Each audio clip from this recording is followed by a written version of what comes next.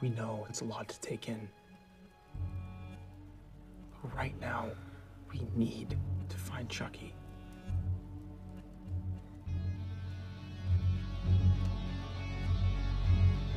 He's with my brother.